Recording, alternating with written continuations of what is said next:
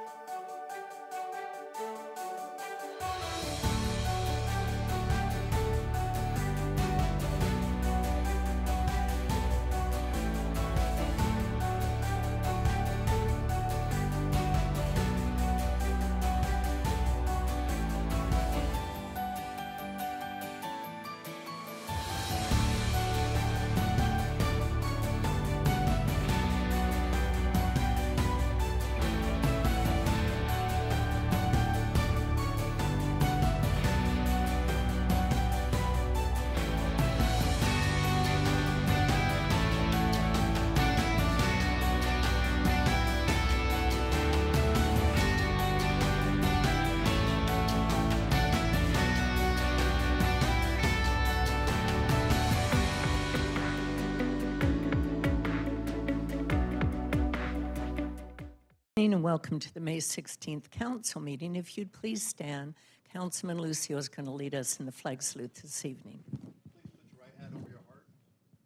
Ready, begin. I pledge allegiance to the flag of the United States of America and to the republic for which it stands, one nation under God, indivisible, with liberty and justice for all. Thank you very much. You may be seated. Our first proclamation is National Public Works Week, May 21st through the 27th. I'd like to call up Joe Lopez, our Public Works Construction Project Coordinator.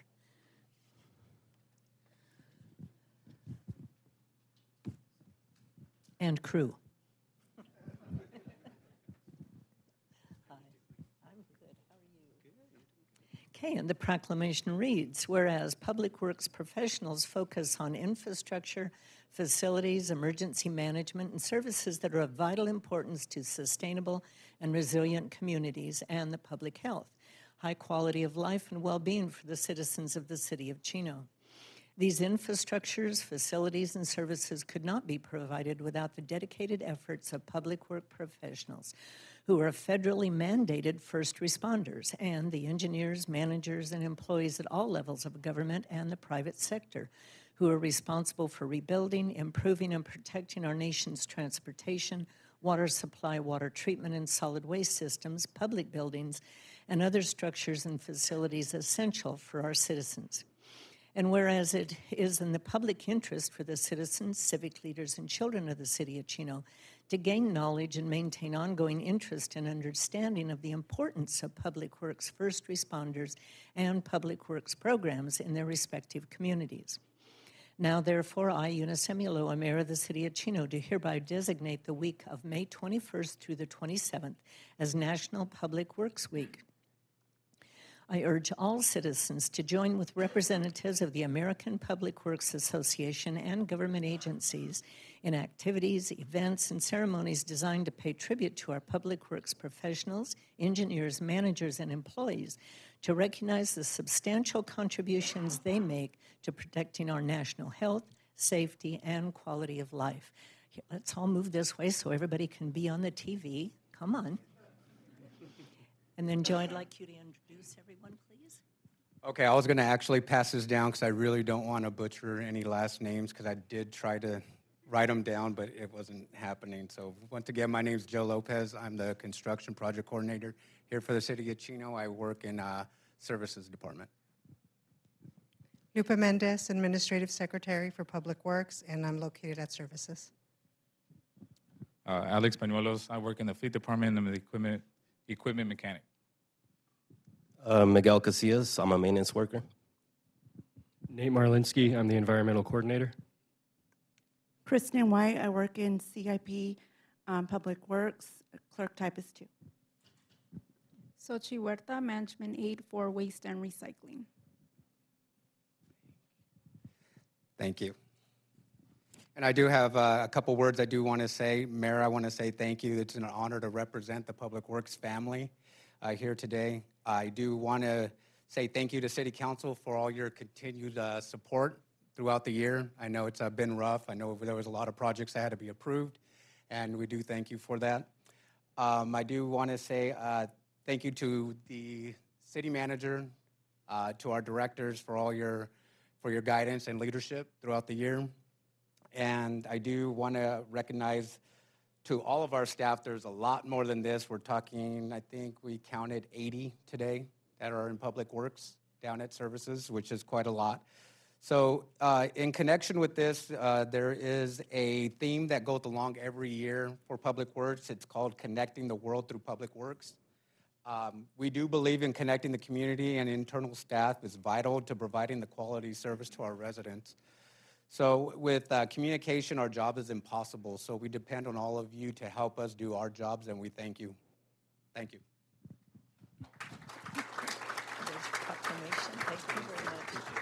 You know, we get angry sometimes when we see tr- streets are torn up and water lines are going in and stuff.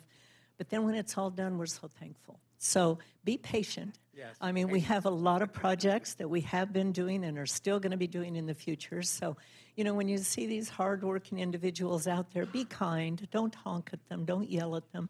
They're trying to improve our quality of life.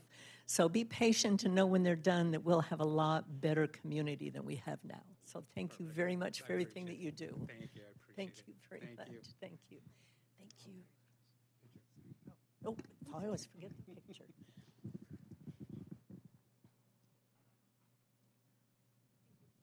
Perfect. Thank you. Thank you very much.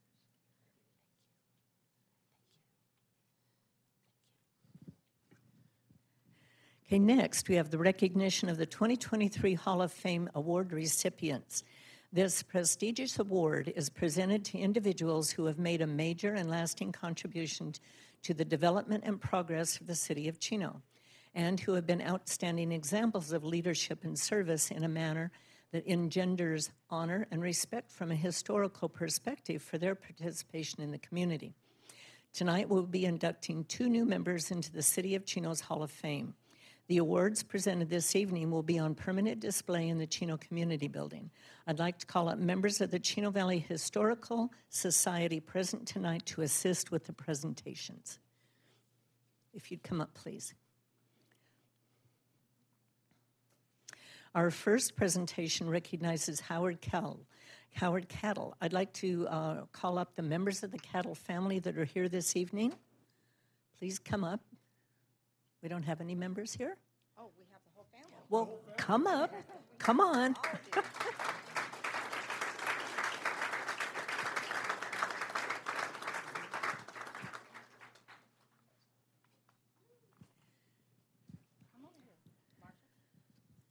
Mr. Steve Buss is the principal of Howard Cattle Elementary School. He is going to receive a replica of the honor that is going to be hanging uh, in our building. Linda Flathers will read what is on the Yeah, I've got it. Howard Cattle, longtime civic leader, former mayor, businessman, and Chino sports booster, helped turn the community into modern Chino. Howard Cattle was born December 23, 1904, in Fort Williams, Ontario, Canada. At the age of 16, Howard moved with his family to Chino in 1920 when his dad took over the real estate and insurance business owned by Howard's uncle, Alfred H. Cook, a prominent civic leader. Howard attended Chino High School, where he played basketball and football. His position was center on the Chino's first football team in 1923, when they played in jeans and sweatshirts back then. Uh, his enthusiasm for the school sports continued throughout his life. He was instrumental in forming the Chino High Sports Boosters, known then as the Quarterback Club. He served as president in 1949. For years, he presented a jacket to each game's outstanding football player and a blanket to the season's top athlete. On February 7, 1932, Howard Cattle married Vera Cook, the daughter of an Ontario dairyman. A year later, they purchased Chino Cleaners. In 1938, they opened Howard's Men's Store with a Railway Express office in the back and moved the Chino Cleaners to that location. Howard would hire students to work in his store and helped others who needed work. He retired from the clothing business in 1973 and worked several years with Lou Sapine building vet pack trucks for veterinarians. His civic service included 21 years as a volunteer fireman, where he rose to the rank of captain. He was a member um, of Noble Grand of the Odd Fellows, president of the Chino Rotary Club, vice president of the Chamber of Commerce, and member of the Rancho Ride Board. He gave many years of service to the Boy Scouts and the Little League Baseball. Howard served on the Chino Planning Commission and in 1954 was appointed to the City Council. Six months later, he was elected as mayor of the city of Chino and served from 1955 until 1959.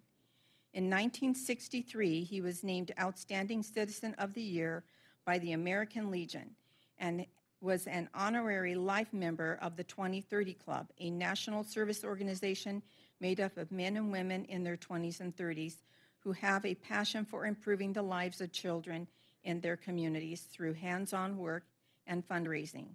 He received a Community Appreciation Award from the Chamber of Commerce in 1966.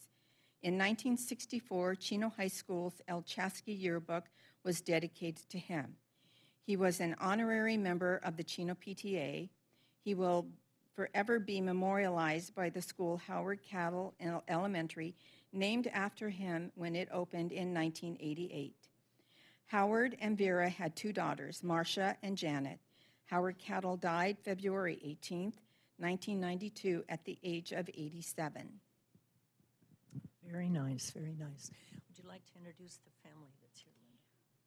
Or have them introduce Yes, themselves? I, I have with me uh, Marcia, Howard's uh, daughter.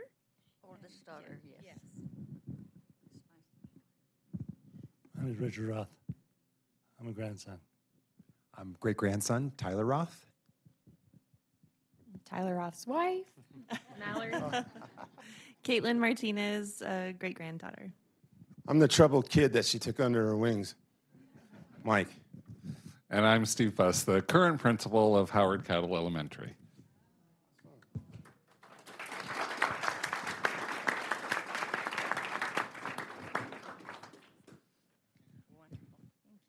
I have a little story to tell you about Vera. I grew up here in 1950s and the 60s, and um, I remember Vera. And I, when I met Marcia today, she looks exactly like her mom. I would have known her anywhere. But Vera, I think, was the first delivery service in the city of Chino. She would come to your home and pick up your dry cleaning, and then she would deliver it back to you. But I remember as a child her coming to our house to pick up dry cleaning. Yeah, it was, it's a great memory. yeah, so- Well, thank you all for being here this evening. You know, it's so very important for us to remember our history and those that really built this community, and, and Mr. Cattle certainly, and his wife Vera, were certainly, certainly instrumental in making Chino what it is today. So thank you very much for being here. Have her turn this around. Yeah. Here you go.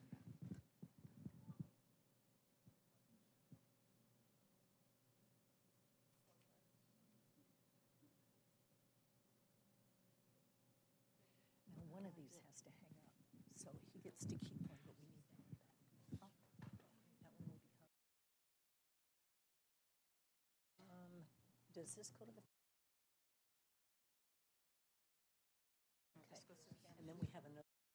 Comes up. Yeah, we have, okay, yeah, that goes with you.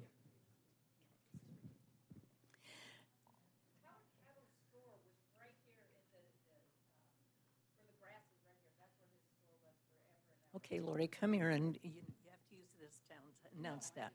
You- Oh.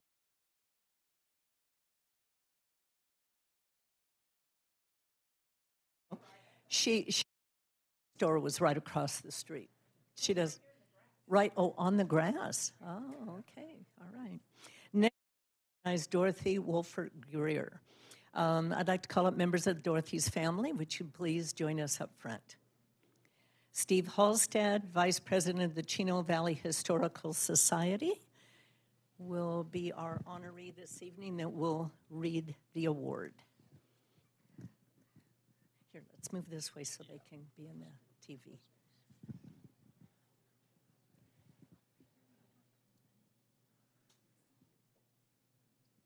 Excellent. Thank you, Mayor.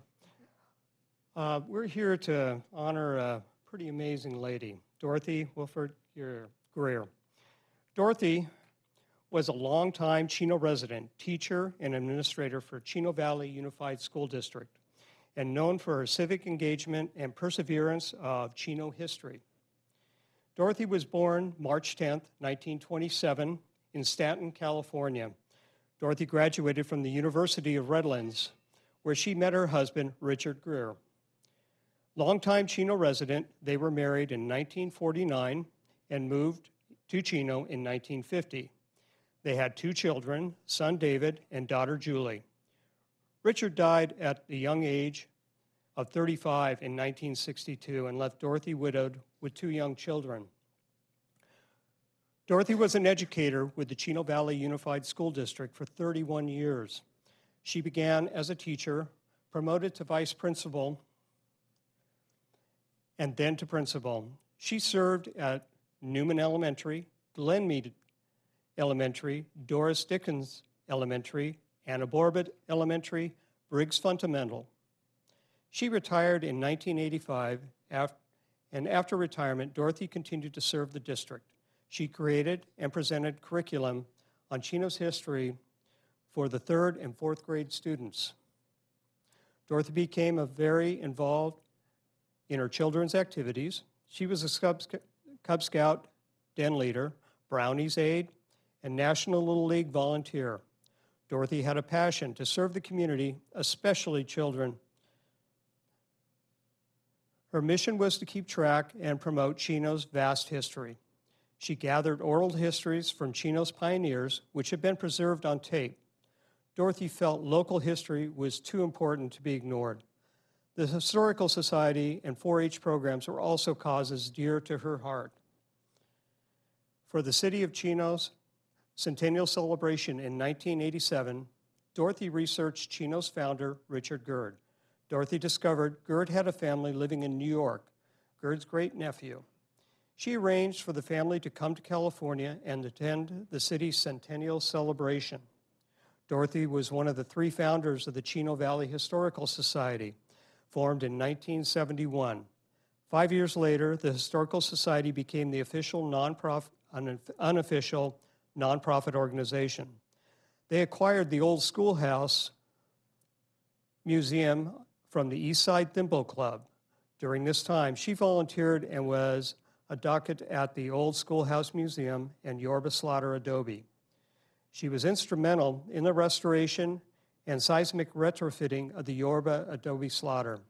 She served on the Chino Valley Pioneer Association for 30 years as an ambassador. Dorothy was a key organizer of the annual Pioneer Picnic, coming up soon, by the way. Um, Dorothy served as the president of the Chino Friends of the Library. She was a Reading Specialist Club member for the state of California. She was a member of the Soroptimist Club of Chino.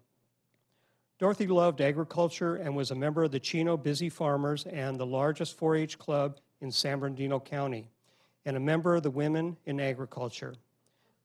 She served the Los Angeles County Fair as a volunteer board member docket and duty administrator. She was also part of the Los Angeles County Fair Youth in Action program. She served as a board member for the Chino Fair Association.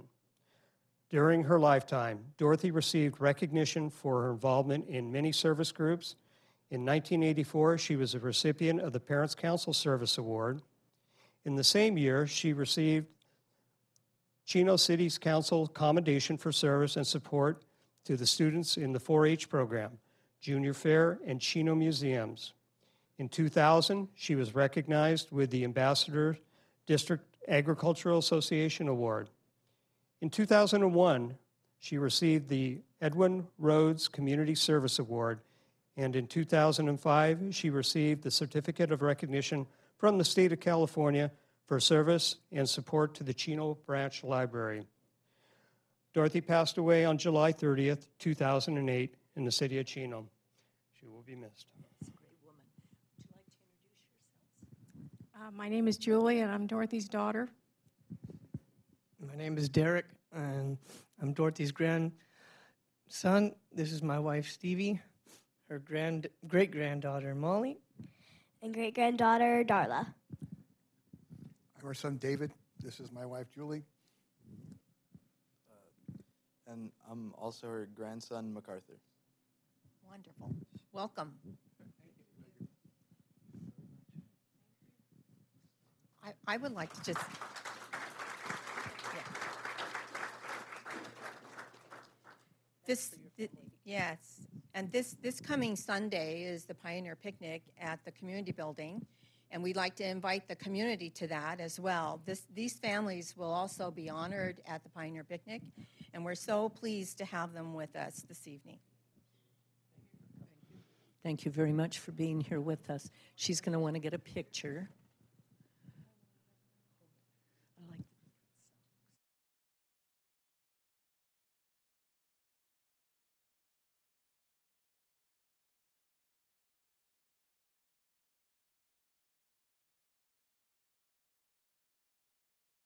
Thank you once again for being here and see you Sunday.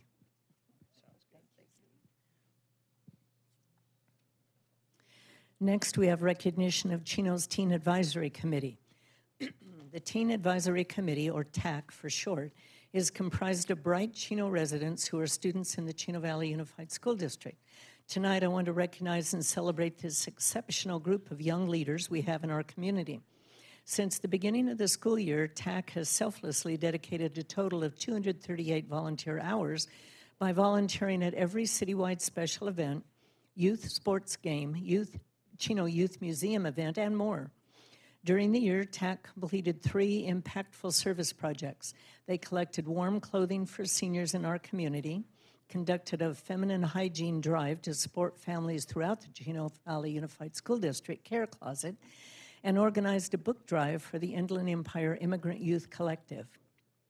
These future leaders are a true asset to our community, and their efforts deserve recognition. Tonight, we have certificates of appreciation for each member, and I will also recognize our graduating seniors. To help me with this, I'd like to call up Myra Pratt, Community Services Manager. Myra?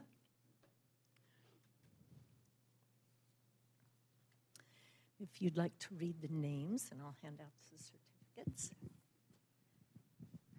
Thank you, Mayor Ulloa and council members for your continued support.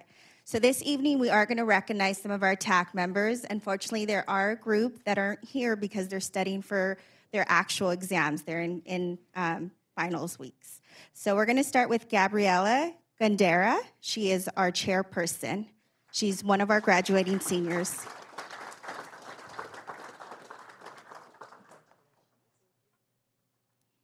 We have Lizette Luna, our vice chairperson. She's also one of our graduating seniors and unfortunately was unable to make it tonight. We have Hannah Finkbeiner, secretary, graduating senior.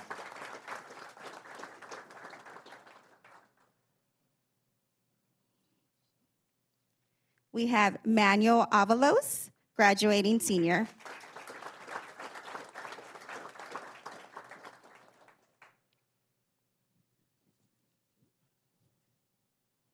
We have Kendall Bader- Baderas. She's unable to make it today.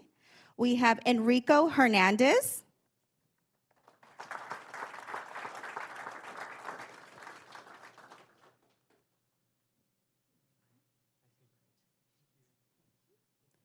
We have Matthew Lee. Is unable to make it. Bridget Moore, unable to make it. Madeline Ramirez, also graduating senior. Elena Rawson. Bella Zong. So we do want to. Yes. Luis Malgananos.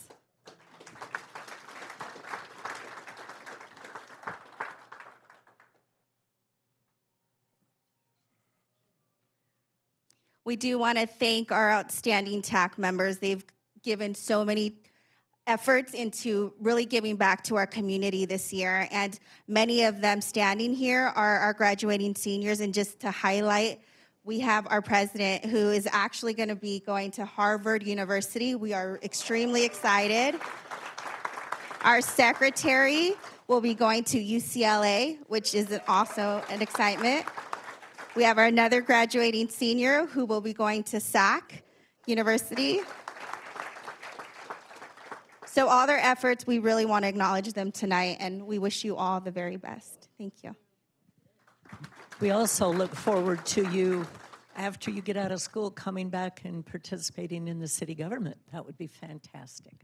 Now, she wants to get a picture.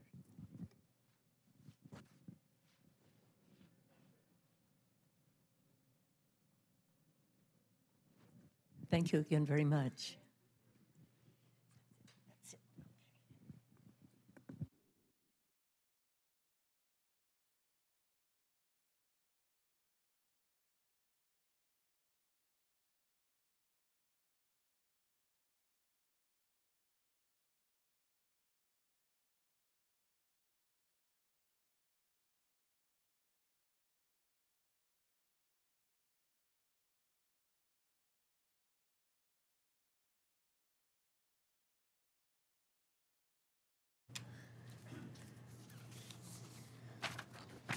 Okay, we, uh, prior to the council meeting, we did have a closed session.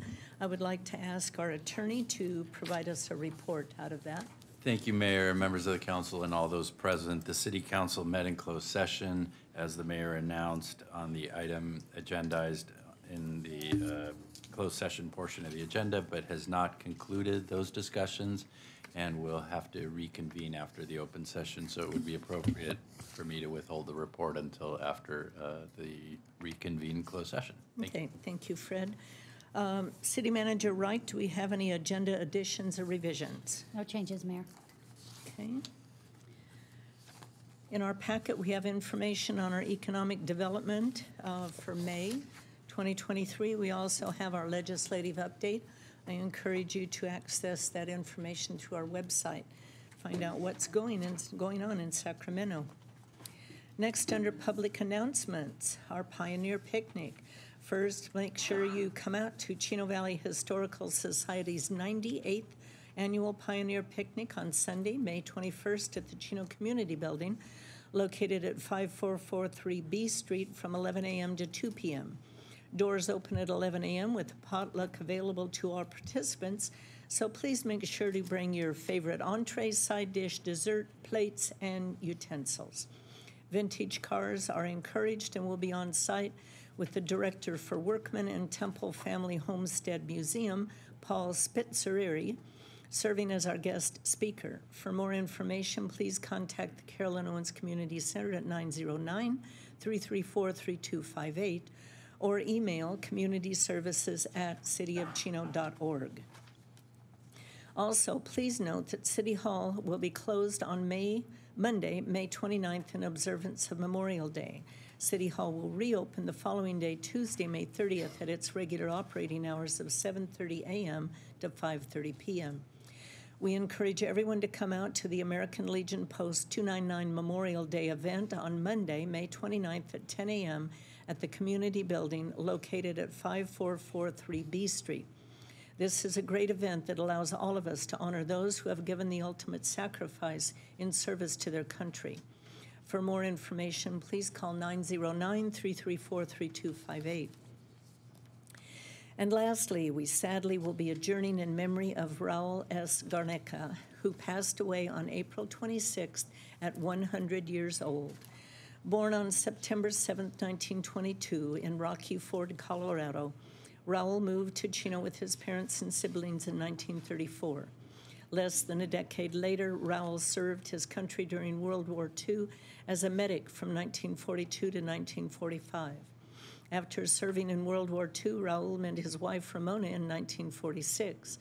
They had three boys, and Raul went on to have a long career building and installing wells. This included numerous wells on dairies in Chino. Raul will be remembered for his infectious smile and his love of helping others. On behalf of the Chino community, our hearts go out to the Garnica family during this difficult time, and we hope that the Garnica family will take solace in knowing that Raul lived a long and blessed life. I think it was his 98th birthday during COVID. He couldn't really get uh, a lot of visitors, and so they had a drive-by birthday celebration. And oh my gosh, members of the PD were there, the fire department, and many, many, many people from our community drove by and wished him happy birthday. He was so happy. Mm-hmm. He was so thrilled to see everybody. He was just a great, great man. Next, under public comments, this is the time and the place for the general public to address the council on items that do not appear elsewhere. First, I'll call on those who have written requests to speak. First is Mr. Dennis Hostetler from Calvary Chapel, Chino Hills. He's going to lead us in an invocation, and I invite all those who would like to participate to please stand.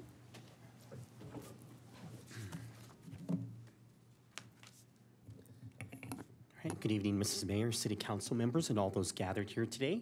Would you please all join me in bowing our hearts as we pray? Almighty God, maker of heaven and earth, we thank you on behalf of all who are gathered here today. We thank you, Lord, for your goodness to us as seen in granting the blessings of wisdom, favor, and strength we need to fulfill our duties and our responsibilities among all of our neighbors within our community. And help us, Lord, as you taught us to indeed love all of our neighbors as ourselves. And so we thank you today for the ability to be involved in useful work and the honor of bearing appropriate responsibilities.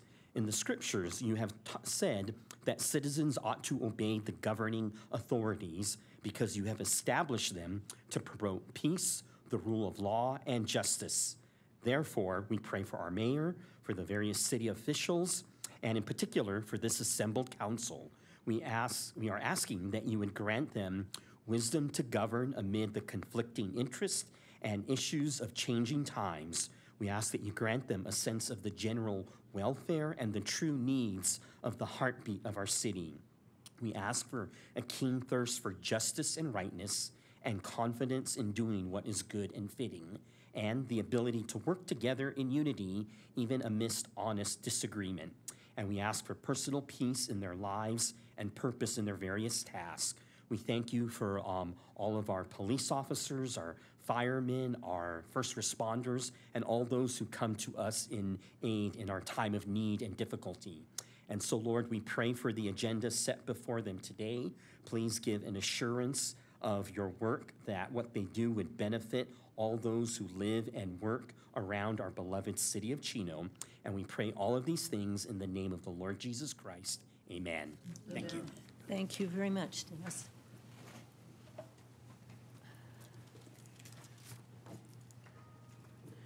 Next written request is Melissa Campani from Supervisor Hagman's office.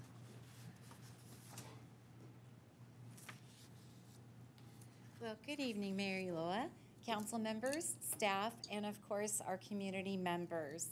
I do have three exciting events to announce. Um, Supervisor Hagman is going to be very busy this June, so we want to make sure to get the word out. Uh, the first one I believe I, I, mentioned here at the last meeting would be uh, the document shredding event, which is being hosted by Supervisor Curt Hagman in partnership with the City of Chino. It's a great event. It's already shaping up to be very busy. The date is Saturday, June the 3rd from 9 a.m. to noon or until all the shredding trucks reach capacity. This event will be taking place right out here in the parking lot at uh, Chino City Hall. And uh, we do ask that if you get a chance and would like to pre register at sbcshredding060323.eventbrite.com. It should save a little bit of time. It won't necessarily put you in front of the line, uh, but we try and get everything taken care of in advance. So we look forward to seeing everyone there. That is a free event I wanted to mention. Uh, the next event will be June the 7th, which is a Wednesday from the hours of uh, 5 to 7 p.m. This will be Supervisor Curt Hagman's open house. We uh, look forward to sharing the event with many county departments and also uh, organizations that do business in our fourth district, such as uh, Omnitrans, uh, Ontario International Airport. They'll all be hosting booths so that if you have any questions and want a chance to talk to some representatives from these organizations, it's a very good opportunity. Now, that will be, uh, like I said, on June the 7th from 5 to 7. If you have any questions, we have a phone number here of 909 465 5265 for more information. And the address for Supervisor Hagman's district office is 14010 City Center Drive. That is in the city of Chino Hills. There will be food, so don't forget, and hopefully some ice cream if we can work that out. And the food will be provided by Chino Valley professional firefighters. And if you could please RSVP, since we are serving food at supervisorhagman.eventbrite.com. Now for the new one, the one we've all been waiting for. Uh, this is actually an event we have held before, but it is a new location. Uh, Supervisor Hagman is hosting an expungement and job fair. This will be June the 15th from 10 a.m. to 2 p.m. We do ask uh, that you pre register, and the uh, address for that is 6 15 jobfair.eventbrite.com. And the location, the new location, will be at the Ontario International Airport, the old airport, um, which is uh, Terminal 1. And we have an address here of 1940 Moore, M O O R E Way in the city of Ontario. However, that actually, the address belongs to something else, but it is that particular building. And I do have a phone number for information. It is 800 451 5627. Uh, we've got lots of big employers who are looking to hire, and uh, so we look forward to making those introductions. And we also will be hosting the Public Defender's Office uh, that will help with record clearing. I'm not sure if anyone is familiar with how that works, uh, but essentially we do have people there to assist. So if you have questions or it's something you've always wanted to know about, um, this is where you can get your answers, and, and people will be right there on hand to help. And I think that's about it. Should you have any further questions, I always encourage everyone to follow Supervisor Hagman on Facebook or Insta, as the kids call it, which I think it's really Instagram. Uh, Insta, that's right. Or you can always sign up to receive his emails, and that way you will have advance notices to some of these fun and always free events. So we look forward to seeing you there. Thank you. Thank you, Melissa. Next written request to speak is Greg Marquez. Mayor, Mayor, is he speaking on an item? We're open. Um, It's not on an item, it's just uh, a comment about the commissions. Hello, my name is Greg Marquez. Uh, Later on tonight, there will be an agenda item discussing term lengths with the Community Services Commission. I believe with the current movement in the commission and the agenda topic, this would be an appropriate time to bring some recommendations for discussion. Additionally, I'm not even sure if there can be a discussion on public comments. However, each council member received a copy of what I'm going to say. I also understand that we are a general law city, and I'm sure that there are some legal constraints. Nonetheless, I would like to bring up some policy recommendations on the public record that, got, that I can only hope will spark new discussions regarding both commissions. Item number one, a new discussion on term limits for both commissions. I believe two or three terms is sufficient to give other people in the community a chance to get involved. Item number two, the selection of the community service, co- the commissioners should include the council member from each district and that the applicant must live in the district that they are representing. I believe since these are appointed positions, the council member in that district should be a part of the process. The current process does not allow for representation throughout the four districts. Item number three, clarification in the current ordinance how commission members are selected and relieved of duty. There are some vague points in the ordinance regarding commissioner appointments, and I believe every member on council has an equal vote in the process. Item number four, the recommendation is uh, clarification in the ordinance how an acting member can reapply and process for submitting intent to reapply. I know there may be a standard of operations, but I believe the ordinance hasn't been amended since the 90s. Uh, The fifth recommendation is that the Community Services Commission meetings, actually for both commissions, be televised. Number six, applicants to become a commissioner are advertised in Spanish, Mandarin, and other languages according to the census data. This will ensure members of the community have equal access to the information when a position is available. I'm available to meet with city council or city staff to review my comments in detail. I only hope this would at least spark a new discussion. Thank you. Those are the written requests that I have to speak. Is there anyone else in the audience that would like to address the council? Okay, seeing none, we'll move on to the consent calendar. Do any council members wish to have any items pulled for discussion? Okay, seeing none, I would uh, entertain a motion in a second. There's a motion from Councilman Lucio, second from Mayor Pro Tem Comstock. Please vote. And consent calendar passes unanimously. I understand uh, Councilman Flores has a comment he'd like to make. Yeah, just the comment I have is um, on the consent calendar, items five and, um, excuse me, uh, items four and five, um, there's uh, some work that's going to be done over at the senior center, and I'm just excited that um, that's happening over there. Um, Some of it is long overdue, but um, some new doors that are being put in that have been uh, severely damaged for a very long time. So again, um, kudos to our staff, and um, I'm sure our senior citizens are going to be really pleased with that. So, thank you. You're welcome. Under new business, item number seven, introduction of ordinance number 2023-012, approve an ordinance, uh, approve an introduction of ordinance number 2023-12 to change the Community Services Commission terms from three years to four years. Our staff report this evening will be provided by our attorney, Mr. Fred Galante.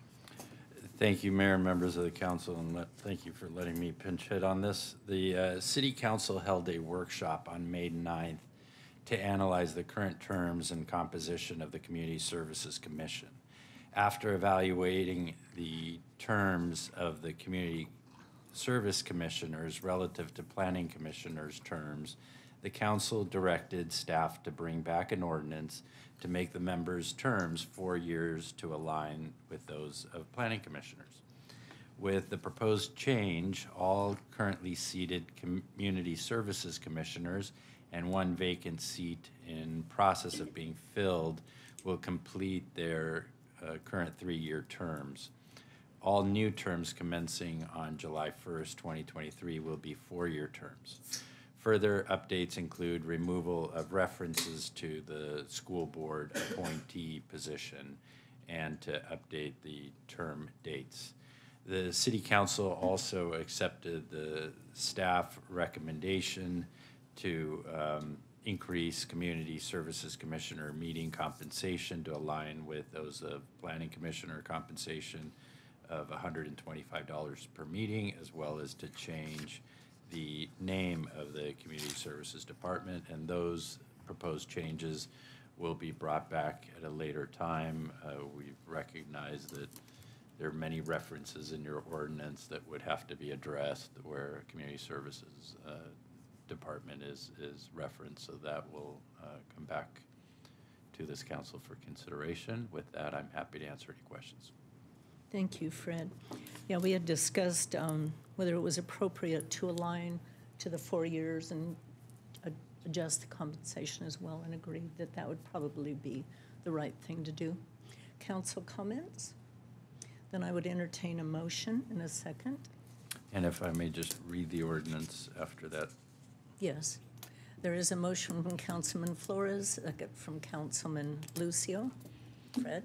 Thank you, Mayor. Uh, Before the council is ordinance number 2023-012 entitled An Ordinance of the City Council of the City of Chino, California, amending Chapter 2.38 Chino Community Services Commission of the Chino Municipal Code, and that's being read by title only and waiving further reading. Thank you, Mayor. Thank you, and the item did pass unanimously. Item number eight, amendment to construction credit reimbursement agreement for the Pine Avenue improvements, Phase One, Stages One through Three, and Stage Four. This item is to approve an amendment to the construction credit reimbursement agreement with Chino Preserve Development Corporation to add $84,050 for additional street improvements to Pine Avenue Street Improvement Phase One, Stages One through Three, and Stage Four. Staff report this evening will be provided by Jesus Placencia, our Assistant City Engineer. Good evening, Mayor and members of the City Council. Uh, Lewis Management Corporation is currently in the process of widening Pine Avenue to provide for three eastbound lanes and two westbound lanes from the westerly boundary of Town Center at the Preserve to Homecoming Drive. These improvements are required as part of the construction of the Town Center commercial development on the south side of Pine Avenue and are subject to a credit and reimbursement agreement that the City Council approved back on June 15, 2021. Uh, City staff recently uh, received complaints from uh, certain local residents in the preserve about the current condition of the roadway pavement at the intersection of Pine Avenue and West Preserve Loop, and the, uh, and the associated noise and vibration resulting from vehicles traveling through the intersection at a high rate of speed. This intersection is located just west of the Pine Avenue street improvements that are currently being constructed by Lewis. To help, to help mitigate the issues surrounding the noise and vibration experienced by residents, and for efficiency purposes, city staff requested that Lewis expand their pavement rehabilitation work to include the intersection of Pine Avenue and West Preserve Loop, plus additional pavement on West Preserve Loop going about 120 feet north of the intersection. Lewis has agreed to expand their scope of work to address the concern, and consequently, city staff desires to amend the existing credit and reimbursement agreement to include additional pavement rehabilitation. The estimated cost to complete the work is eighty-four thousand fifty dollars, which includes twenty-five percent for contingencies and soft costs. After the work is completed, city staff will review supporting documentation to verify the total costs eligible for reimbursement. Uh, Therefore, city staff recommends the city council approve an amendment to the credit and reimbursement agreement to include additional pavement rehabilitation for a not-to-exceed amount of eighty-four thousand fifty dollars. These funds will be reimbursed through the Road Repair and Accountability Act Fund three twenty-seven as part of a corresponding amendment to city project number ST two oh three to include this additional pavement rehab work. That concludes my report. I'd be happy to answer any questions. Thank you very much, Jesus. Are there any comments or questions? Yeah, I, I have a comment. Uh, I just want to say thank you. Uh, We received some emails from some residents that were complaining about when the trucks hit that intersection, it causes a lot of noise for the residents that live in that area. So I appreciate the fact that you guys moved on this real- really pretty fast. I mean, this is probably the fastest I've seen. I think the email came, I think, last month or a month and a half ago, and you guys have already addressed the issue, so I thank you for that. And I'm sure it's going to make the residents very, very happy, so thank you. Any other comments? I have a question. Jesus, when will we have the third lane westbound? The third lane westbound will, in that section, will be completed as part of the Fallon Crest uh, development. So that will be completed in the various phases of the, uh, the improvements uh, that occur as part of the, the different uh, projects that you have in, in Fallon Crest. You have, for example, the, the first phase, which is the KB tract. uh, That's east of East Preserve Loop. Then you have the Tri Pointe tract, which is um, west of East Preserve Loop. Uh, The, the KB uh, tract actually is, um, uh, they've, they've gotten all of their plans approved. So uh, I believe they're going to be working on their frontage improvements along Pine starting in July. Okay. And then uh, the, the Tri Pointe tract, I'm not sure at this point. They're not as far along, so I'm, my, my best guess is that it, it may occur uh, later this year or perhaps early next year. That, that would be my best guess. And then further west, that, that's not as far as along. Uh, I don't believe their third phase of the, the Fallon Crest development that we have uh, an actual applicant that's moved forward with uh, entitling that, that portion of the, of the property. So there'll be pieces of it that are improved, but the, the whole length won't be until we get all of the projects approved and constructed, probably a couple years, do you think? I believe that's correct. Okay. All right, thank you very much. Well, if there's no other comments or questions, then we need a motion and a second to approve item number eight. Motion from Councilman Flores, second from Councilman Lucio. Item passes unanimously. Item number nine, Professional Services Agreement, Chino Spectrum Traffic Study, MS 232. This is to award a professional services agreement with Iteris, Iteris Incorporated Los Angeles, California for engineering design and bid support services for project MS-232 Chino Spectrum Traffic Study. Our staff report this evening will be provided by our city traffic engineer, Dennis Rawls. Good evening, Mayor and City Council. Uh, Tonight for your consideration is an award of a professional services contract to conduct a Chino Spectrum traffic study.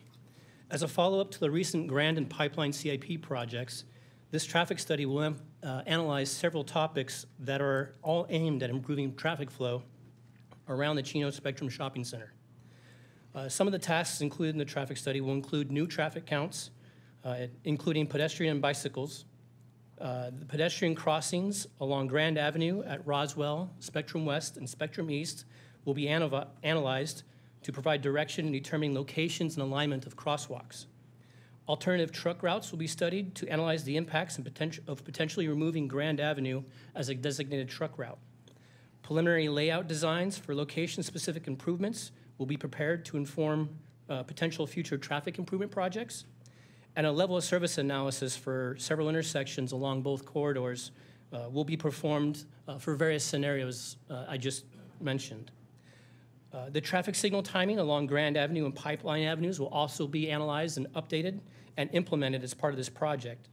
As part of that traffic signal timing, staff will work with Caltrans and the city of Chino Hills to coordinate Grand Avenue from Peyton to Pipeline Avenues so that the whole corridor functions seamlessly. The requests for proposals were solicited through Planet Bids and published in the Chino Champion. And on March 10th, 2023, staff received five proposals, which were evaluated by staff, rating each pro- proposal on the firm's qualifications, related experience, firm profile, uh, personnel staffing plan, project references, understanding of the scope of work, demonstration of technical abilities, and their potential to complete the project under budget. Based on these criteria, Iteris Incorporated of Los Angeles, California was determined to be the best choice. Sufficient funds are included in the current fiscal year CIP budget under project number MS-232. Therefore, staff recommends that the City Council approve a professional services agreement in the amount of $145,005 to Iteris Incorporated for the traffic engineering, design, and support services for project number MS-232, Chino Spectrum Traffic Study, and approve a design contingency for up to $4,995 for a total amount not to exceed $150,000. This concludes my report, and I'm happy to answer any questions you may have. Dennis, how long will this study take? Uh, We anticipate that the study should be completed around September, October of this year. September, October. Questions or comments from council? Mayor Pro Tem? Dennis, I want to thank you for bringing this back to us. I do have some questions. It seems like there's a lot in this study. Some of it that I think is going to be helpful that we could get, but some of it, it just seems like after we did the paving and the improvements to this area, that we're probably asking for things maybe that we wouldn't implement for some time. Um, So I guess what I'm trying to understand is while I, I like certain portions of the scope of work, like I like the idea of us trying to maximize our signaling and moving traffic through there. I also think that um, part of the truck route modification analysis, isn't that also part of our general plan update? So is it a redundant, you know, a function of that? As well as if we do pedestrian crossing alternatives now, I mean, when would we really see? I'm sorry, Mayor? No, go ahead. I'm- Oh. When would we see, um, like, the ability to implement those recommendations at a future project? It- Would it be, some of, the- some of that analysis that, that we would be getting would not be able to be implemented because of the design of that road for many years? Would it be better for us to do some of that at a later time when we're really going back to touch those, those things? But there's, um, there's a lot of good things in this. I'm just asking for some clarification on some of those things. Sure. Um, So for the truck route analysis specifically, uh, while yes, our general plan update is, is moving forward and it includes reviewing uh, the- truck routes, uh, that wasn't originally incorporated in the scope of work of the general plan. And hopefully, part of what this will do is sort of give us sort of a, a- a, a head start on some of that analysis that can be incorporated in the general plan as it moves forward. So that's part of the reason why that was included uh, into the study at this time, is to really get a jump start on that information and to help uh, supply that information back to the general plan uh, consultant. Uh, Because that, that, like I said, that wasn't necessarily a part of the scope of work initially for the general plan. Uh, For review of, like, say, the the pedestrian crossings, yes, if we, if after the study, you know, we discuss and determine that we want to make changes to those, uh, those would have to be future projects. Uh, As well as, uh, along with that, this study also includes not just pedestrian crossings, but improvements to potential um, intersections where trucks are having, are slowing traffic down while they're making turns. Uh, For example, um, northbound 71 at Grand uh, has uh, a, a single lane that makes a right and then a carpool lane that makes a right. However, trucks can't make the right turn from that right lane, so they use the carpool lane to make a right. The problem we have is that some trucks know that and some trucks don't.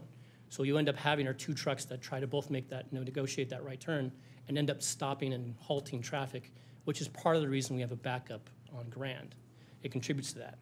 Likewise, if uh, we look at uh, modifying our truck routes and removing Grand Avenue as a truck route, those trucks will now be rerouted to other locations. And if those locations have impairments, we want to identify those early on so that as we move forward and, and modify truck routes, we identify projects to make sure that we're, you know, widening uh, radiuses of corners to allow those truck movements to occur uh, much easier. Um, Locations might be like um, uh, Edison and Ramona, for example, um, an eastbound right turn movement. Um, uh, Because if we are removing Grand Avenue as a truck route, a lot of industrial right there on the east side of Pipeline will have to be rerouted. Uh, So they, they'll, they'll have a a route towards Riverside, north of Ramona, or they'll have to use Ramona south of 71 as an alternative uh, if they're accessing the 71. So uh, there's, so there's, that was why a lot of the scope of work was framed the way it was, and it was kind of why we, we're, we're here now instead of not doing this before, because uh, things kept coming up that we're like, oh, we should probably add that to that, we should probably add that to that. Thank you for the explanation, Dennis. I, I think, I think this started with, you know, a lot of our discussions on the, the paving project several months ago. As far as, you know, pedestrians and, and bicyclists in this area, it's, it's a difficult area to get in, in and out of that way. I just think now it's expanded to other things that are gonna be helpful to us, but I think there's a couple things in there that we were, we're gonna study that I don't think we may even touch for, you know, really long periods of time. I'm just wondering if it's worth it to, for us to keep some of those scopes in the, in the project, if we're not really gonna come back and touch that project for another 10, 15 years, you know, to make those modifications. Because by the time we do that, we'll probably do, need another study to make sure that it's all still being recommended and accurate. Because, uh, you know, a, a lot, I think, is gonna change in that area over the next, next period of time. That's, those are my comments, and I, I- I welcome just any other council member's perspective on it. You know, listening to what you said, Dennis, it makes sense though, Karen, if, if in looking at this, it leads to eventual improvements to other areas that would accommodate trucks, then if those other areas are under study for some kind of modification, then they can incorporate what this study comes up with. Do you see what I mean? Instead of having to redo another corner again. Um, So I think it's all building blocks to where we want to go eventually. And I'm sure our staff isn't going to bring back a project that's going to have to get done two or three times. Yeah, I, I agree with you there, Mayor, like the, the signals and the trucks. We've already had some very significant truck route collisions down there, even with trucks tipping over and different things. I just think there may be a couple, a couple things that we've also added to this that we're, even when we analyze it, I don't, I'm, I'm concerned that we're gonna study it now, and if the implementation isn't for ten or fifteen years on a future project, that is gonna be obsolete. Yeah, could, could be. Kurt? Dennis, I want to understand that, are we going to have the study done? You said it in September, October of this year? Correct. Is that correct? Yeah. And I heard you say if about the truck routes. Did, did we, didn't we decide that that would no longer be a truck route between 71 and Pipeline along Grand Avenue? Well, I- technically, there hasn't been a decision yet. Part of what this study is uh, meant to do is to help inform the city council on if we were to change that route, what might some of the impacts be? Uh, So it- it's, this study is purposely uh, uh, meant to help give guidance and, and inform the city council before they make that final decision. Okay, I thought we, we fin, I thought we finalized that. We, we didn't finalize it, we said we wanted to study it. Okay. So the study should come back by October, correct? Yes, once it's complete, I'll, I'll For a bring back the results. recommendation that that will no longer be a truck route, correct? Yes.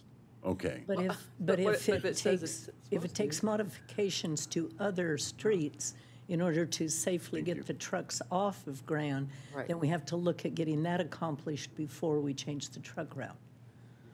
So I think, I- if I can help, so I think anyone who's driven out there sees there's a ton of trucks. Yeah. Uh, And, and certainly removing Grand Avenue as a truck route is no simple task. Uh, And if we were successful in doing that, those trucks all have to now be rerouted somewhere else. And so those impacts on those other streets, that's what this traffic study will help us understand, is uh, by making this decision, uh, what are, what, it- what are, going- what's going to happen to our roadways in terms of traffic volume and increased delay uh, and level of service at these little locations now that Grand Avenue is no longer a truck route. So that's part of the information this, this study is hoping to uh, provide. And we just redid that street in that area, as you know. And by the time we get around to doing this, it's, I can imagine what the street's gonna look like at that point in time.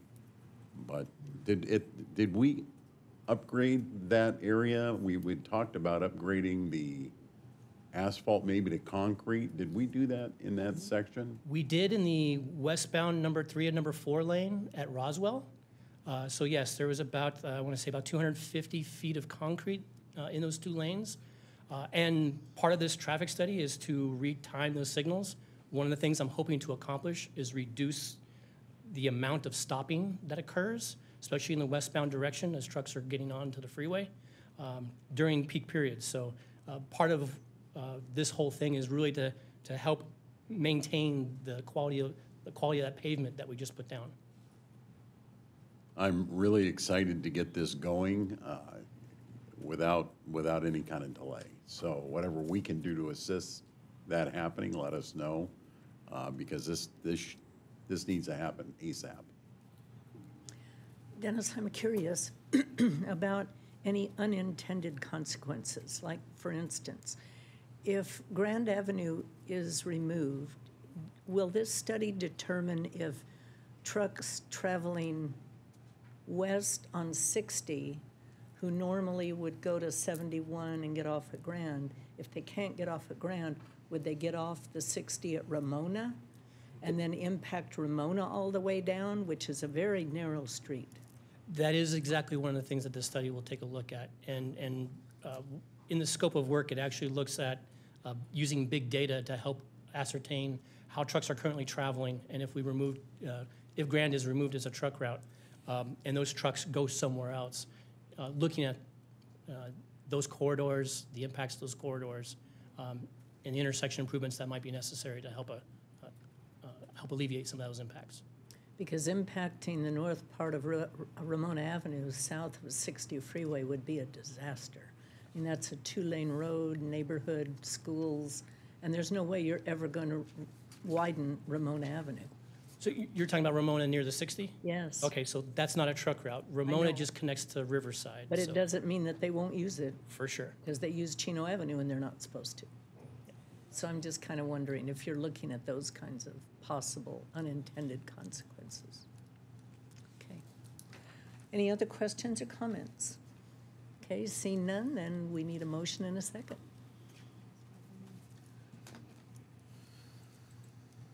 Motion from Councilman Burton, second from Councilman Flores, and the item passes unanimously. Authorization, uh, authorize a vendor purchase order for police vehicles. This is to approve a purchase order to Brannen Motors uh, in Georgia in the amount of $561,890.25 for the purchase of 10 model year 2023 Ford Explorer utility interceptors and one model year 2023 Ford F-150 police responder truck for the police department. Staff report this evening will be provided by our Assistant Public Works Services Manager, Keith Martinez. Good evening, Madam Mayor and members of the City Council. The City of Chino Public Works Department Fleet Division is responsible for purchasing, maintaining, repairing, and replacing all city-owned vehicles. The life cycle of each city vehicle is tracked in a fleet management system that evaluates the mileage, age, type of service, maintenance repair history, depreciation costs, and overall condition of each vehicle. Staff has identified eight vehicles assigned to the city police department that are beyond their life cycle and in need of replacement. Due to the police department growth, an additional three new vehicles were requested for a total of 11 new emergency vehicles to the fleet. Over the past 18 months, staff has published on five separate occasions bid packages for various subsets of emergency vehicles through Planet Bids or sought to piggyback on existing requests for proposals issued under cooperative purchase agreements such as NJPA or also known as Sourcewell. Unfortunately, in each of these five instances, vendors with approved purchase orders were subsequently notified by the primary vehicle manufacturers such as Ford and General Motors that the requested police vehicles were unavailable as production lines had been halted due to supply chain constraints, thus preventing the order to be filled. Due to these constraints, staff was compelled to look outside of California for other options and identified a dealership, Brannen Motor Companies, and Unadilla, Georgia, that currently has all 11 of these vehicles in stock with unit pricing that is consistent with California pricing received earlier in this year. At this time, staff recommends that the city council waive the formal bidding requirements in accordance with municipal code 3.32.070 subsection D and approve a purchase order to Brannen Motor, Motor Company, Unadilla, Georgia, in the amount of $503,100 plus sales tax and fees of $58,790.25 for a total amount not to exceed $561,890.25. That concludes my presentation. I'd be happy to answer any questions the council may have. Keith, don't California cars require different emission systems than in Georgia?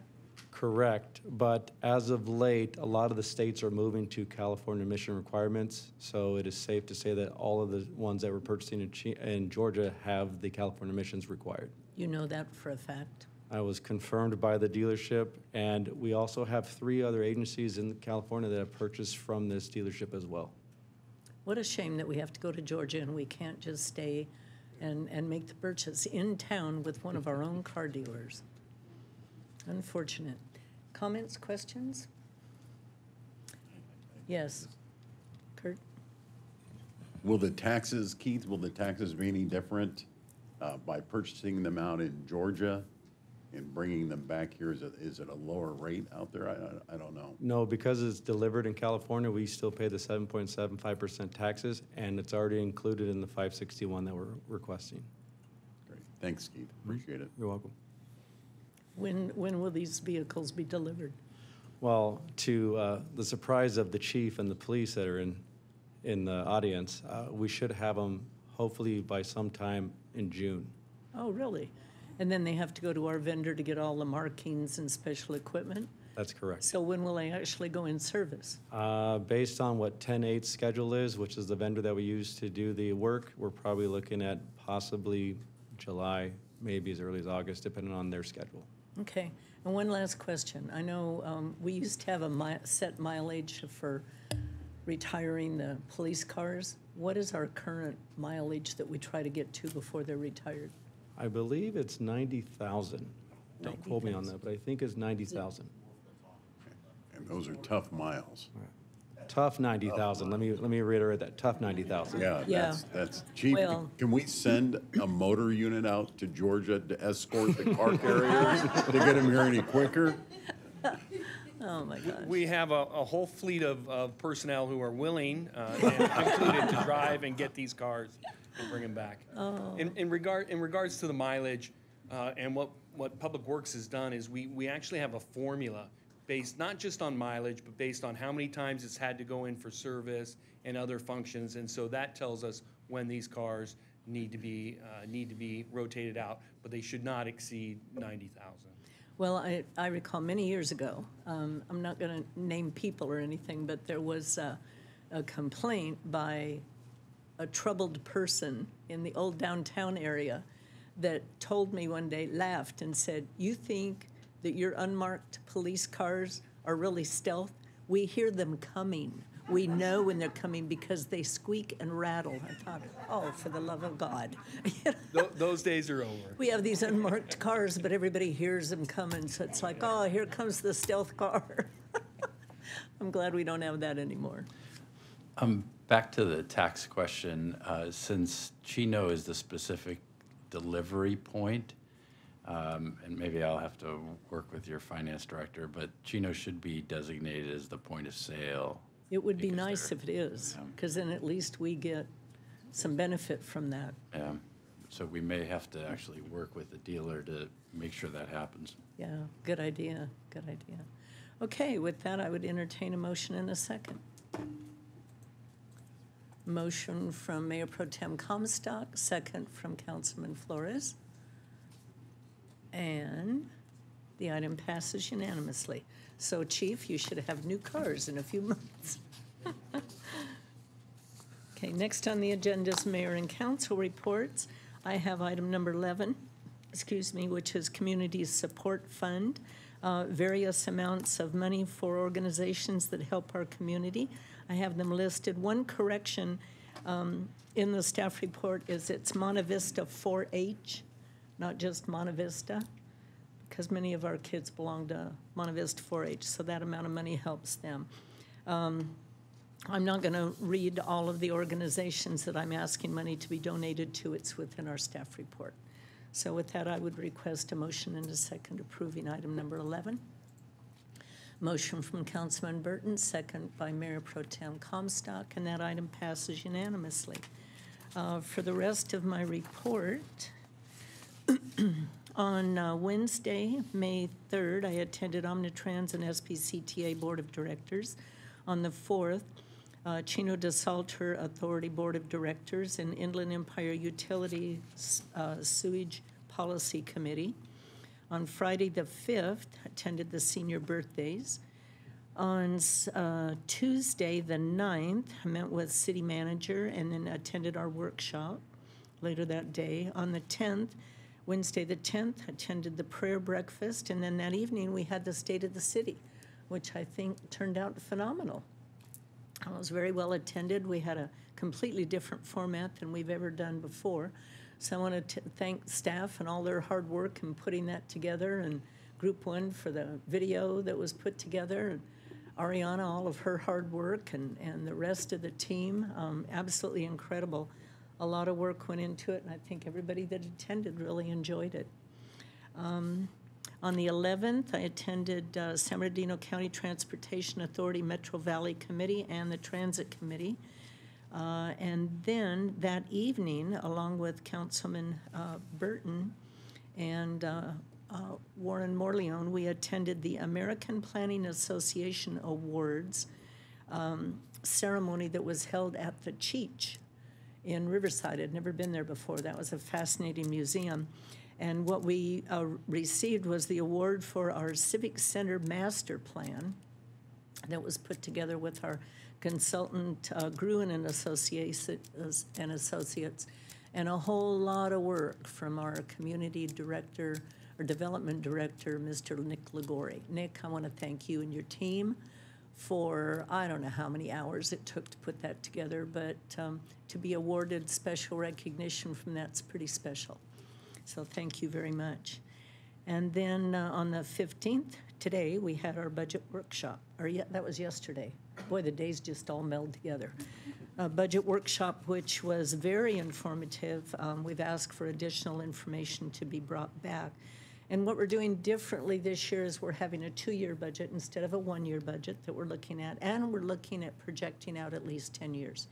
Um, with the crazy economic times that we're going through right now, I think it's very, very important for us to look into the future, uh, to see our financial health and what we're going to need as we move forward. Um, our citizens demand excellent services, and they deserve excellent services, and that takes money. So we're trying to project out what we need to keep our community whole, keep quality of life, and be completely transparent. And it's uh, Rob and, and the financial team, it's putting an awful lot of pressure and a lot of work on them, but and all of our staff, in fact, but I think it's going to be well worth it. So with that, that's my item, and then uh, Mayor Pro Tem Comstock, you have item number 12. Thank you, Mayor. I have the same request to approve these community support funds to these uh, um, um, nonprofit um, operations in the city of Chino. There's a list of them as well. I won't go through them. It's in my staff report. But I can, want to assure the council and the community that they all do good work in our community.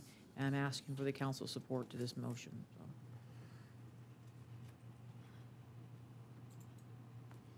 Okay, there's a motion from Councilman, well, it disappeared. Lucio, and who was the second?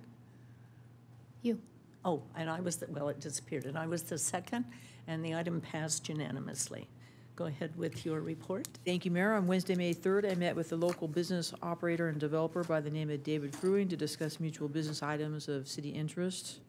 Uh, Actually, David's um, and his family received a, um, an award from you, Mayor, for some of his work in the city, and I think the Fruing family is a a good community partner, um, as well as they own the, the- the company US Bowling, and they were instrumental in helping us um, construct the Russ Miller Memorial there. They're just a great family. Um, In fact, his dad was in town. I got to see him that day, too, which is Daryl Fruing. On Tuesday, May 9th, I attended a workshop presented by our staff here in the city council chambers regarding the management of our unsheltered population and the comprehensive list of services that we provide with the goal of helping these people attain long-term, affordable, and sustainable housing. It's not just our own services and our own case managers, but also we work in collaboration with so many different entities, so many different food banks, um, the county. So um, there is help out there if people want it, and we've actually are also successful in helping people get off the street and, and, and, and find places to live for the long term. So I'm grateful to our staff and all the nonprofits that we work for to help with that. And managing that, that, um, that, that issue for us is paramount to maintaining good quality life for our residents here in Chino. This workshop also studied our current stock and supply of parkland in the city, the Community Services Commission rebranding and mission statement, and the realigning of the compensation and the terms for our community service commissioners to match our planning commissioners, which we discussed earlier today. On May 10th, I attended the Mayor's State of the City Address hosted at the Chaffey College uh, Community Center here in Chino. It was uh, a great event, Mayor, great job. It was well-attended. To our staff who worked to make that a success, it was a nice event to the, everybody, I mean, all the, all the attention to detail, the flowers, the, the gifts that um, were presented. Of course, we honored um, uh, uh, Glenn Duncan with the Spirit of Achievement Award that night, so congratulations to Glenn and Cindy. That was well-deserved. And uh, thank you to the Chino Fire Department and the Chino Police Department for the, for the, um, the, the, the, the uh, color guard that presented the colors. On May 13th, I attended the General Plan Update Community Meeting at the Preserve Community Center. I want to say there again that our staff did a great job down there. I've been going to a lot of meetings as part of um, my assignment to the City Council in the Preserve, and I want our staff to know that it was a notably different feel in the Preserve Community Center that day. We had over 100 people RSVP for that event. We met a lot of our newest residents that have moved into Chino, and our staff did a great job about discussing how important the general plan update is and what that means and how to uh, further construct that community as we move forward. I also want to thank the uh, Chino PD and their barbecue trailer for providing food for people there that day. So thank you very much, guys. That's why you had a. The burgers were good, by the way. So I didn't have a hot dog, but, you know, the burgers were good. On May 15th, I attended the budget workshop along with a robust gathering of our staff here in the council chambers. Mayor, as you mentioned, this is uh, our attempt at a, a first, our first attempt at a two-year budget, and we are attempting to decide on several very key and important issues, including how much money should we maintain in our general fund reserves, you know, making sure that we're starting to use some of our general fund money to to fund deferred maintenance and capital improvement projects in the city without threatening our, our general fund balance should we run into, you know, i- if, should we, but when we run into a recession, because we all know that, you know, economic cycles come and go. Um, And, as the mayor previously stated, to explain to our community, moving forward into the future, really the financial costs that it takes for us to operate the city in the, in the areas of capital improvement projects, trying to catch up on our, our deferred maintenance to roads and different things, and also um, to properly maintain our, our public streets. Um, One of the things that we learned uh, in this process through our roadway paving management system is that we should be spending about $11.8 million annually in order to properly maintain our streets to their, to their, to a suitable level, and we're falling short of that. So we'll have a more discussion about that with, with our staff and our, and our public in the future. Today, along with Councilmember Lucio, I attended a meeting with several uh, of our staff members that they are working on regarding vehicle storage and local advertising. So that was a good meeting. And prior to tonight's meeting, I also attended the closed session with the rest of the council. I want to congratulate uh, Mayor, um, the Cattle family and the Greer family. Actually, uh, Mrs. Greer was uh, one of the principals at Dixon when I was there. She was a, a great lady. I remember her vividly as a student at Dixon. So congratulations to their families, and thank you to the Historical Society for your work that you do there to honor those members of our community. Um, The comments earlier regarding our Planning and Community Services Commission and selection appointments. Um, Linda, I know that this has been brought up before. Are we working on updating that ordinance or looking at it and bringing it back to potentially a workshop for the council, or where are we at with, with that? On- So we're looking at the ordinance to update the name for the Community Services Department, the new name. Um, As far as anything else, we haven't been given direction to do that. Okay. I think maybe it's worthy if the rest of the council agrees of looking at um, the ordinance, the selections, a lot, a lot of things have changed since 1990. I think some of the comments that were brought up tonight were actually interesting, and maybe it's worthy of us looking at together as, as a council, you know, moving forward. We've made some, we've made some, recently made some dis- um, changes to different committee assignments and how we do things. Maybe it's worthy of us looking at that process as well as we move forward. Just my, my recommendation there. Um, My sympathy to the members of the Riverside Sheriff's Office for the loss of Deputy Harris and the traffic collision. The sh- sh- Sheriff's Office has had it tough lately, and um, this is certainly you know, another loss. Also, my sympathy to the members of the Chino Police Department. We lost uh, Karen Thomas this weekend after a reoccurrence of, of cancer. Uh, Karen's one of the first people I worked with over here at the old PD building when I was hired as a police cadet back in 1987. Her husband Chet is also a retired police officer, and they were long-term Chino residents prior to retiring and moving out of the community. So my sympathy to Karen and her family. Uh, This is National Police Week, Mayor. Uh, I'd like to pay my respect for the surviving family members of law enforcement across the state of California and just nationally, um, for all the personnel who have paid the ultimate sacrifice, and may we never forget any of them and their service to our communities. And that concludes my report, Mayor, tonight. Thank you. Councilman Burton. Thank you, Mayor. On Thursday, the 4th, I attended the National Day of Prayer with the mayor and Councilman Flores on the lawn in front of City Hall. Uh, The event was very well attended despite the pouring down rain that day, and it was really coming down out there. Uh, Later, I attended a budget overview meeting with the city staff and then attended a housing committee meeting with Councilman Flores and city staff. Later on that evening, to wrap it up, I attended the Chino Valley Unified School Board meeting. On Tuesday, the 9th, I attended a water meeting with city staff members Dave Crosley and Natalie uh, Avila. I want to thank them again for their patience in trying to bring me up to speed and educate me as to our water here in the Chino Valley, uh, the Chino Water Basin and how it all works and what water rights are all about. But I, I just definitely appreciate the, the help that they're, they're giving me, that will continue. Um, Also, I attended a city council workshop with the mayor and council members on that day. Uh, Discussed the homeless services as well as current and future parkland in the city.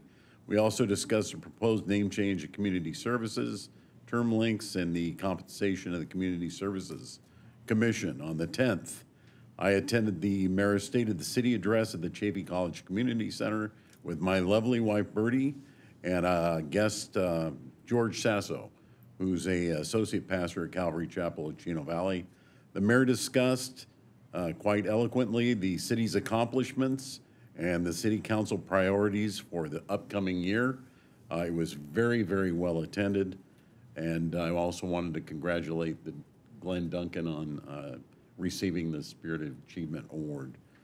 On the 11th, I attended the American Planning Association Award Ceremony with Mayor Ulloa, Deputy City Manager Vivian Castro, and City Planner Warren Morelion, at the Cheech Center in Riverside.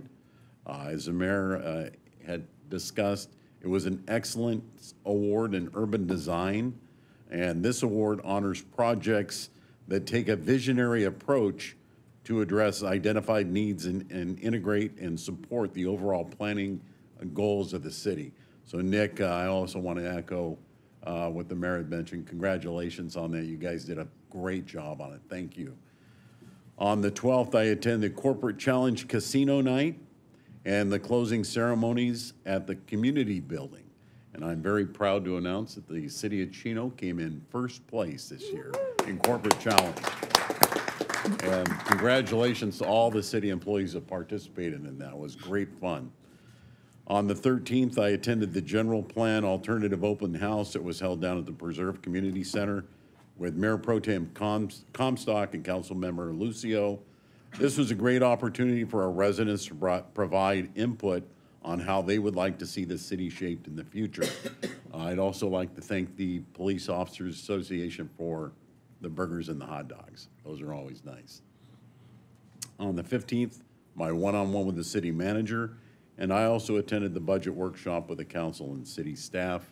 And I'd just like to close uh, uh, in wishing my condolences also to Karen, Karen, the death of Karen Thomas. Uh, She was also working at the police department back in 1986 when I started there. She worked in the records division, and she was uh, an outstanding employee, and, and she's going to be missed. And that's, that's all I have, Mayor. Councilman Flores. Yeah, Thank you, Mayor. Uh, May 4th, I attended the National Day of Prayer, and um, again, as was mentioned earlier, it was raining that day, but um, we had a, um, an attendance that's uh, just growing and growing, and um, I'm, I, I, I love seeing that. That same day, I attended the Housing Committee meeting um, with um, Councilmember Burt, uh, Kurt, excuse me. May 5th, I attended the Andes Express Wash Grand Reopening. Um, It was a great turnout down there. Again, um, that same day, it was raining, um, so it was kind of ironic. Um, It was raining while we had a uh, Andes Express uh, Wash Grand Reopening.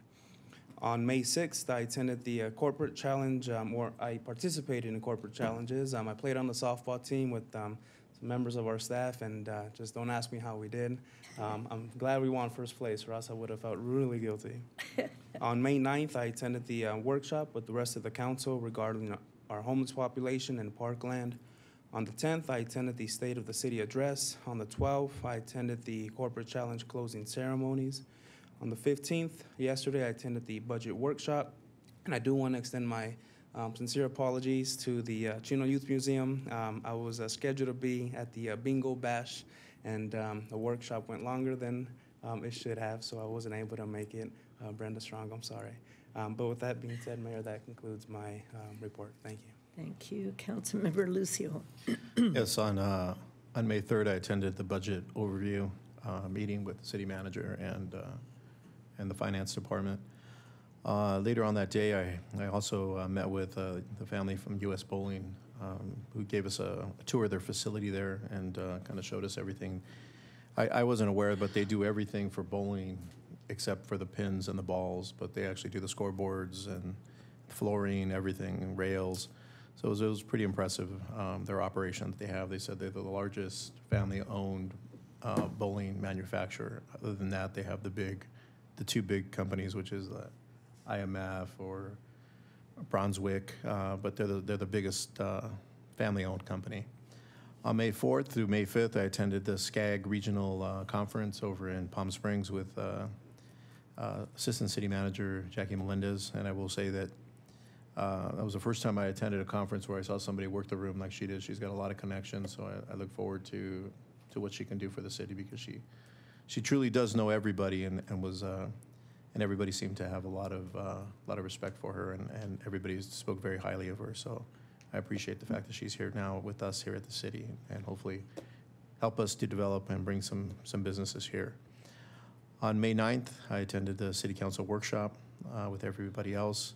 On the 10th, it was the mayor's state of the city. that I attended that. It was a great turnout. I think it was better to have it during uh, the evening hours as opposed to during the day. I think there was a lot more people that showed up. On um, May 13th, I attended the, the General Plan Alternative uh, Community Meeting over in the Preserve. And I, I will echo what, what the other two that, that attended said the attitudes there are completely different than they were when we first were attending meetings down there, when they were just always angry, they, they didn't feel like they were being included in anything. And I think us continuously going out there and meeting with them is really changing the perspective of, of the way they feel about the city. Now, we're not going to change everybody. There's always going to be your people that no matter what you do for them, they're always going to be angry, they're always going to be upset. But I think the majority of the folks down there like the fact that they're seeing a shopping center going in. They like to see that there's a second school going in. They like to see that the roads are being completed. So I think we're doing uh, some good things down there, and I think um, the, the, you could just tell by the by the way the folks were. It, it was just a lot more positive than uh, what we're used to normally. When I first started going down there, was really really negative, but now everything seems to change. On the 15th, I attended a meeting with the city manager, my weekly meeting, and on the 15th, later on that day, I did the, we attended the budget workshop. And today, we had a, a truck van storage meeting, and uh, I also want to uh, put my condolences out to everybody for Police Officers Memorial Week. I, I've got a couple good friends that we lost in line of duty that were put on the wall uh, there in Washington, D.C., and also in California. And I will say, if you're a police officer, um, you should make it a, a point to go up to Washington D.C. at least once during Police Week because it really brings home um, what the ultimate sacrifice is and, and how much the community appreciates it and, and all of law enforcement, not just from the United States, from but throughout the world comes and celebrates that and recognizes it. And, and basically, Washington D.C. shuts down, and it, it's there, there's numerous things that that are put on for law enforcement. If you have a family, I would suggest taking them to that. I mean, they, they really get a great perspective of what being a law enforcement officer is and, and what uh, the ultimate sacrifice and how, how much it's truly appreciated by the community, not just law enforcement, but the community, the United States, and, and, and Washington, D.C. itself is just a phenomenal city. I mean, everything seems to be alive, and everybody's rowing, running, you name it, and the monuments there are outstanding. So I know that some, um, some cities used to pay for a couple officers, you know, and I don't know if, if it would be worthy of looking at, you know, whoever wins Officer of the Year or what have you, that maybe we, we send them to Washington DC to represent the department. But it, it should be something that we should look forward to, something that we should, we should honor uh, by sending some of our members of our police department up there to at least represent the Chino Police Department every year. Uh, But I'll close with that, and I look forward to the car show for the fire department this weekend. City managers report. Thank you, Mayor, members of the council. I do have a couple things. So I know you mentioned corporate challenge, Councilmember Burton. That was uh, two weeks. We ended last Friday. We have not won corporate challenge since 2018, so it's been five years. We did have a year off, but I want to thank our team that put that together, our coordinators. It was Lisa, Nikki, Andy, Hector, and Claudia. They worked for a long time to assemble our team, make sure we had our waivers in place, make sure we had participants at each event. So it was really a fa- fantastic event. It's so great to get to mix and mingle with other businesses in town and get to know them. And also our partners in Chino Hills, and it's always great to come in ahead of them. so we appreciate that. And we haven't done that for much longer than five years. So we're really happy about that. I want to thank our team for the, the state of the city and thank the mayor and the council members. Uh, the video was fantastic. Our team worked really hard on that for months and months to make it a really good event. And because it was different, there were a lot of changes, and our team stepped up to the plate, and they did that like they always do. The um, uh, the APA award that was a lot of work by our team. I know I've mentioned it before. It was two and a half years working on that project, and it was you know, uh, Nick uh, Vivian Castro, Carolyn Balzer, and myself, who sat on that committee for that time. We had our, our technical advisory committee, which I believe was the mayor and Councilmember Lucio, and there was a lot of input that went into that. It was a long time coming, and the Gruen and Associates are fantastic to work for. They are a, a pretty known name in the planning world, so we were fortunate to have them on our team. And then finally, I'd just like to, two more things. Um, I'd like to thank Nick Liguori for his time here in the city. Isn't that back? Um, he's moving on, and uh, he has been with us for 20 years plus. And a lot of what our community looked like has a lot to do with him. So we want to thank him for that, wish him well. And then finally, I'd just like to get some clarification. Would you like us to set up a, a workshop to talk about commissions? Is there consensus on that with the council? And I don't know if there's consensus throughout. I think first, um, I think query the council to find out what our concerns are, to see Okay. what's worthy of discussion. that sounds perfect. And that's all I have, Mayor, thank you. City Attorney. I just want to report to the council that I continue to be engaged in the sewerage service agreement extension with uh, IEUA. Um, Today, uh, your city manager and I attended one of several meetings that we have had. Um, Although we overall are making progress, I was hoping to have some analysis and uh, summary for the council by now, but when there are several contracting agencies and another party on the other side, as you can imagine, um, it is hard to corral everybody's opinion into uh, an agreement. So we continue to work towards that. Today, we had a very productive meeting, and I hope to be able to provide the council any, uh, a summary of all that once we have some clear definition. But in the meantime, if anyone has questions about that, I'm happy to respond. When does the actual contract expire? Uh, That's a very good question. It did expire already. Um, You may recall, uh, there was a tolling agreement that we were asked to participate in because the opinion of the contracting agencies was that the contract terms should have continued in exactly the same way as written in the uh, existing contract that expired. Right. Um, There was disagreement on that, so we reserve the right to fight about it and uh, to avoid having to be pressured to file any legal action. That's what the tolling agreement, uh, the purpose of the tolling agreement. And then they adopted an ordinance, right? They adopted two ordinances to Two. essentially replace the terms of the agreement. um, And the presence of those ordinances, as you could imagine, create additional issues for us to address, so. There are various issues, but your staff, including Dave Crosby and uh, your city manager, have been tremendously helpful. Well, this is very, very important to our future. And so um, I'd, I'd like to step out in front and say you've got the full council support to do whatever it takes to keep us whole and safe. Our water rights are critical, our storage is critical, and uh, so is the, our ownership of recycled water. And so I would say it's worth the fight. That is essentially the one issue that is probably the, become the most difficult because of the importance of recycled water and its importance in the future years. Um, The, the- and I won't go on too long, but the, uh, the great investment that Chino made, and I'll credit Ontario also, is to put in infrastructure to take advantage of that system. And so that's why these rights are very important with, as Linda and I discussed them, we sort of dig our heels on the, on those issues.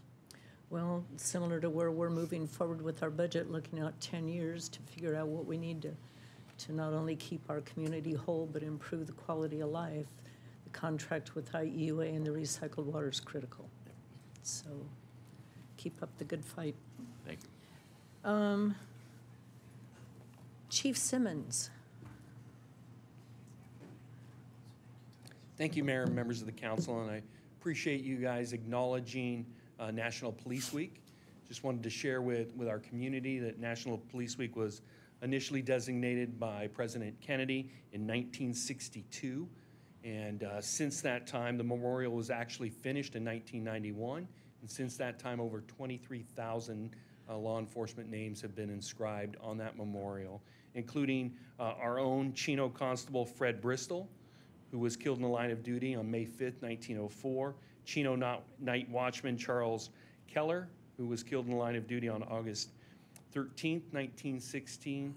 And Chino Police Officer Russ Miller, who was killed in the line of duty on February 1st, 2000.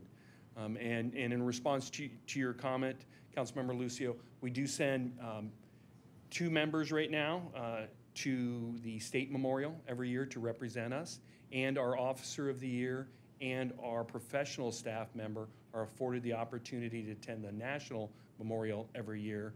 And we do that in combination with our police associations who help cover some of the costs for that. In addition to that, we, we often have members of our agency participate in the Police Unity Tour, which is a 300-mile bike ride during National Police Week. We partner with the Southern California chapter, which can- contains about 300, 300 riders. Altogether, nationwide, there's about 5,000 riders who all converge on Washington DC. And this year, Sergeant Jesus Jaquez rode, uh, rode in the Unity Tour to represent us. Um, and uh, he rode from New Jersey to DC. And, and I just want to read a quote that, that he shared on why he did it. He says, I'm riding for my close friend and brother in arms, Sergeant Christopher Brax. Chris and I served in the Marine Corps and deployed to Kosovo and Iraq together. He later joined Los Angeles Sheriff's Department, where he was promoted to sergeant. And uh, Chris, Chris had passed away the year prior doing, during the Unity Tour. And so uh, Sergeant, Sergeant Jaquez rode for him. And in addition to the state and the national memorial, we also participate every year in the county memorial, which is this Thursday at 9 o'clock. It's all the county agencies, and we, uh, we honor all the, all the members uh, from San Bernardino County who died in the line of duty. And that will be at the Ontario Town Square at 224 North Euclid Avenue at 9 o'clock on Thursday, and that's open to the public as well. That's all I have to share, unless you have any uh, questions for me. Any questions of the chief? Thank you very much. Um, I don't know how much you can share about this, but, but I was so impressed yesterday, coming home from the workshop. Um, You know, we hear a lot about our license plate readers. Uh, Traveling home, going northbound on Central, Central Avenue, north of the freeway was lit up like Christmas. And I thought, what in the world is going on? Well, Abs- Absolutely, Mayor. Um, What, what happened uh, yesterday is a stolen vehicle from Riverside County drove through one of our license plate readers. It alerted our officers. They were able to locate that vehicle and, and, um, and confirm that it was in fact stolen. And they conducted a high-risk traffic stop on that vehicle at Central and Philadelphia. And we're able to take the, uh, the driver and the two passengers into, into custody. The driver uh, of that vehicle uh, was already on probation uh, for possession of stolen property, and of course now in possession of more stolen property, meaning somebody's vehicle. So yes, that technology has been extremely beneficial to us catching criminals, and I would, I would theorize that they had come to our community to victimize our community because they did not live here. Mhm. And uh, we're grateful for the council's support and uh, help with, with that. Well, it was pretty impressive. I mean, they had the street blocked down and the red and blue and white lights are, were going like crazy and peop traffic was being rerouted. Um, so it was, uh, pretty impressive. So again, you know, criminals, stay out of Chino. Absolutely. You're gonna get caught. Just, I mean, for somebody to be dumb enough, I guess, to drive through our community in a stolen car, I mean, they obviously don't know Chino, do they? They do Thank not. goodness. Well, congratulations on that. Thank you very much. Jeremy, you're here for the police, the fire district. Almost said police. Yes, good evening, Mayor and Council. My name is Jeremy Alt. I'm one of the deputy chiefs. Proud to serve in that capacity for the fire district. On behalf of Chief Williams and our entire board, first I'd like to start with sending their, their uh, appreciation and uh, well wishes. They're actually all in Sacramento currently meeting with our state legislators and representing the interests of the district and our community up there. Um, Also, uh, regarding the state of the city, unfortunately, I was not able to personally attend. Uh, It happened to coincide with one of our board meetings that night, so uh, unfortunately, I wasn't be able to be there, but uh, we did split the team, and Mhm. we were thankful that we were able to attend. Uh, Thank you so much for uh, um, your partnership and also the accolades uh, that were given to the district um, by the city. We really, truly appreciate everyone in the city and for that partnership and that recognition, so thank you so much. Finally, uh, as Councilmember Lucio mentioned, I just like want to call everyone's attention and invite them this Saturday at 10 a.m. Uh, the Chino Valley Fire Foundation will hold the 14th annual car show. It's going to be at the shops just on the other side of the freeway there. All are welcome. Uh, I'm really looking forward to that opportunity to get out and uh, be with everyone and uh, come on out and uh, enjoy the cars. With that, thank you very much and good evening. Thank you. Uh, We are going to be recessing back into closed session, but before we do, I'd like to remind everyone that we are going to adjourn in the memory of Raul Garnica. Um, But addition to that, um, Linda mentioned that Nick Liguori is leaving us. Uh, He's been with us for 20 years, and Nick, I want to acknowledge you tonight. Um, You told a cute story about how when you first came here, you went with Brent Arnold and, and walked out, or drove down and then walked out to what is now the preserve. Looked around to this vast open space with dairies and cows and everything that we used to be down there, and, and Brent explained how it was going to be a magnificent city someday, part of our city. And, and I think your uh, comment was, okay. well, you've been very, very instrumental in, in what we have down there, and I want to thank you very much for all of your efforts. Um, Civic Center Master Plan, of course. You and I have gone toe to toe on some issues and haven't always been in agreement, but um, you're just a great guy to work with. Great family man, great dad, um, just a great human being. I'm going to miss you a lot, but I think there are better and greater opportunities ahead for you. And, you know, God closes one door and opens another, and sometimes things are a lot better than what we currently experience, and we don't even know it until we're out there. So I wish you all the best. You still live in town, and you're going to stay in town because you have uh, a lot of investment here, and your parents live in the, uh, the ADU that you built for them as well. So thank you for staying in town, and I look forward to seeing you as just another citizen. Thank you, Nick, for all of your efforts. Okay, with that, we are uh, recessing to closed session, and we will be back in a bit.